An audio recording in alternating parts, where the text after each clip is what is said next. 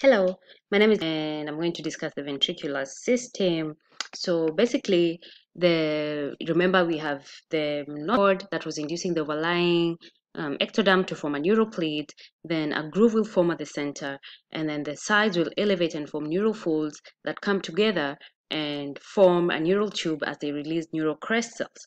So the walls of this neural tube form uh, the brain on the upper two thirds and the spinal cord, while the cavity two thirds is what will form the ventricular system, and the cavity of the neural tube within the lower form the central canal of the cord. So the remnant of the canal of the embryonic um, neural tube is what forms the ventricular system, and it's usually lined by ependymal cells, parts of the cerebrum, with calls, while um, to the unpaired third ventricle in the diencephalon so we have lateral ventricles in the cerebral hemispheres, and the diencephalon will and this to the third ventricle via the interventricular for the fourth ventricle by the cerebral aqueduct. So cerebral aqueduct is located brain, fine brain, the upper portion is on the um, pons, while the lower portion is on the medulla. So the fourth ventricle then communicates with the subarachnoid space through uh, two paired uh, through two lateral foramen of Luschka and a single median foramen of Magendie and um, the CSF within the spinal cord is contained within the basic that's those are the components of the ventricular system. So you have your lateral ventricle here and you it has an anterior horn it has a um, posterior horn okay? So this is the antrum. So anterior horn posterior horn inferior horn and the antrum those are the parts of the lateral ventricle. Now the lateral ventricle contains csf it communicates it's it, the lateral ventricle is on the cerebrum cerebral hemispheres both right and left. So you have two lateral ventricles then you have one third ventricle within the diencephalon. So csf leaves the lateral ventricle through the interventricular foramen of monro to the third ventricle in the diencephalon. Then CSF will later follow the cerebral aqueducts, okay, which is within the midbrain to enter into the fourth ventricle that's located on the pons and the posterior aspect of the pons and the medulla. Then from the fourth ventricle, CSF continues downwards into the central um, canal of the spinal cord, but it can also exit through two foramina of Luschka and one foramen of Magendie, which is not shown in this um, image. So again, this is your frontal horn, the central part, okay that's the occipital horn and the temporal horn of, and that's the antrum of the lateral ventricles and you have two. And then this is your choroid plexus within the lateral ventricle and in the roof of the third ventricle. So choroid plexus is on the floor of the lateral ventricle and the roof of the uh, third ventricle.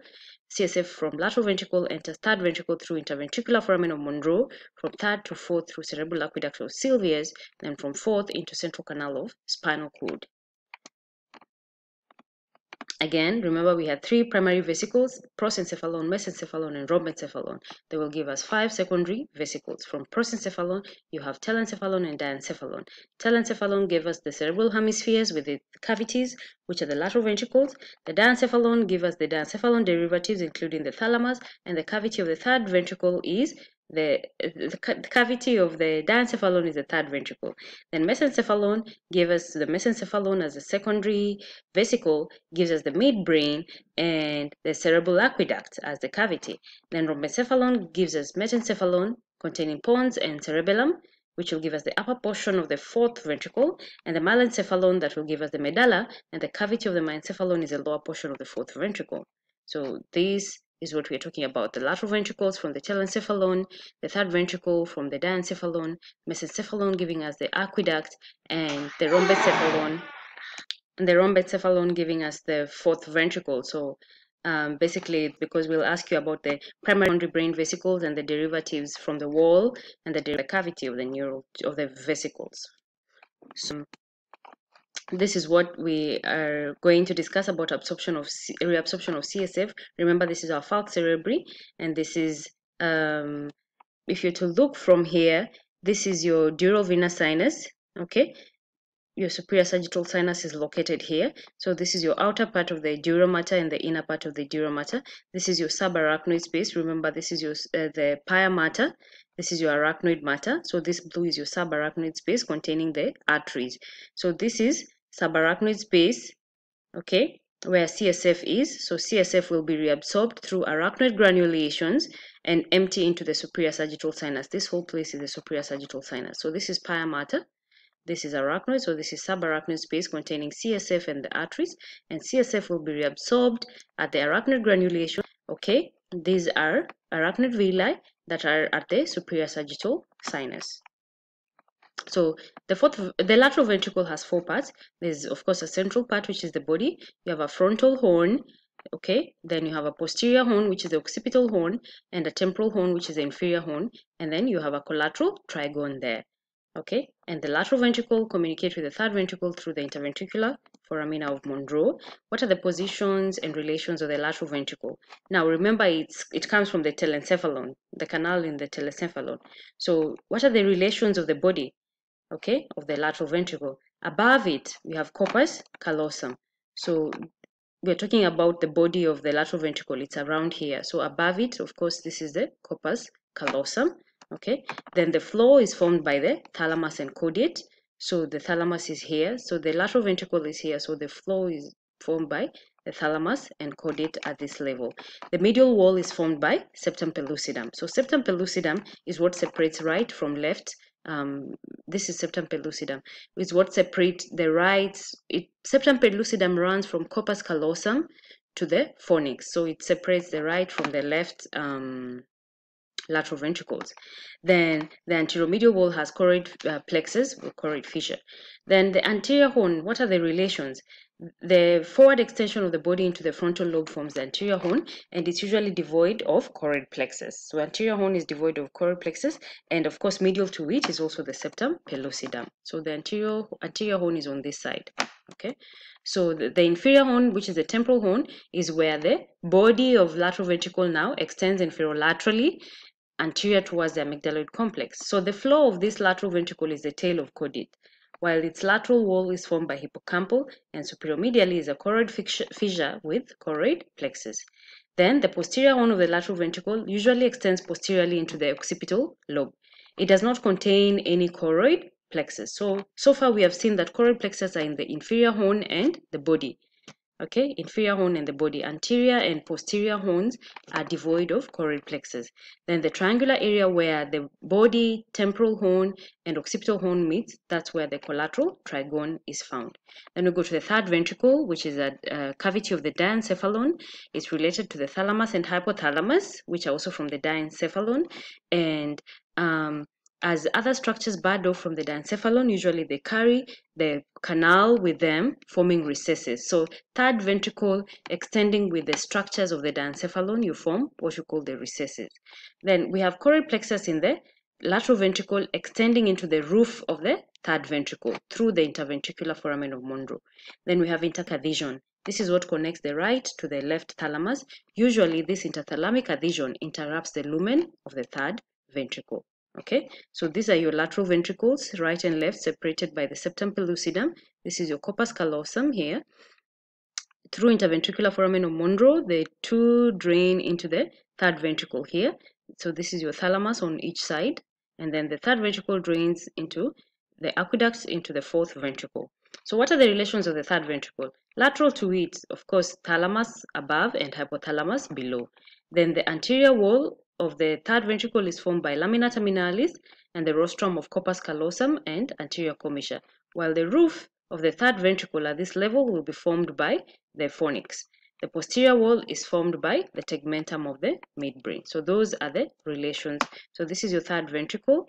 We said you have choroid plexus on its roof, okay? And you can see the fornix again on the upper portion. The thalamus and hypothalamus are lateral to it, thalamus and hypothalamus. So this is your third ventricle and it communicates with the lateral ventricle through interventricular foramen of Monro.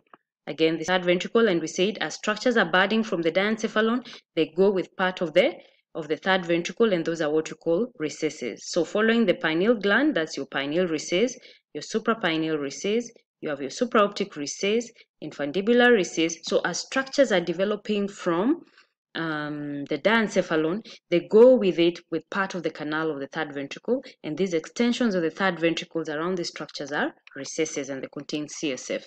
Then the third ventricle is interrupted at the center by interthalamic adhesion. This is what connects the right thalamus to the left thalamus. So again, this is your lateral ventricle there. This is your third ventricle, the aqueduct, then um, coming to the fourth ventricle, the central canal of the spinal cord.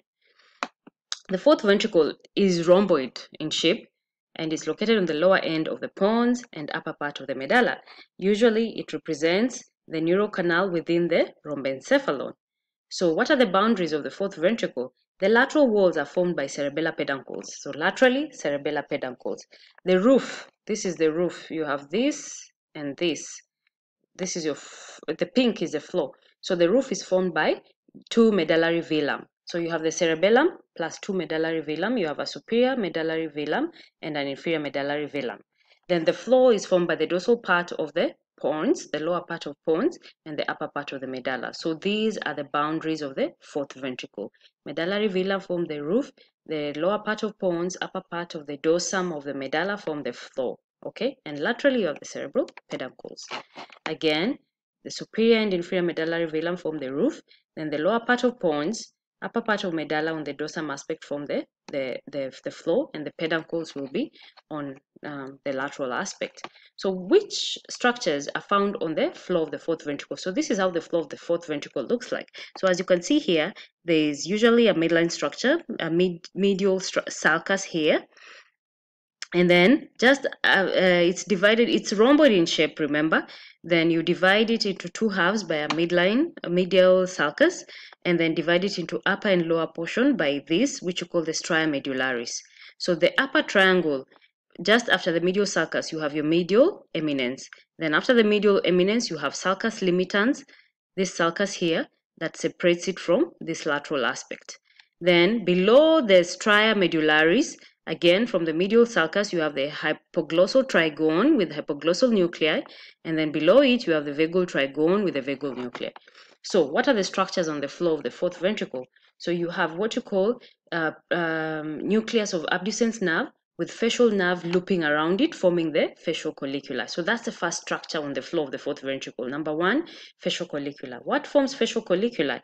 It is formed by the nuclei of abducens nerve with the facial nerve going around it. Facial nerve going around the nucleus of abducens nerve forms the facial colliculi. The second structure on the floor of the uh, fourth ventricle is the vagal trigone containing vagus nuclei. Then hypoglossal trigone containing the hypoglossal nerve nuclei. Then we also have nuclei of vestibulocochlear nerve at the side here. And the floor is usually crossed by stria medullaris. So those you should be able to draw this cross section. You draw rhomboid, separate into two triangles by stria medullaris, separate into two halves by a median sulcus. Then you have your facial colliculi here, then vestibular nuclei at the side. Then you have a hypoglossal trigone here. Below it, you have the vagal trigone. So next uh, video, we shall discuss cerebrospinal fluid.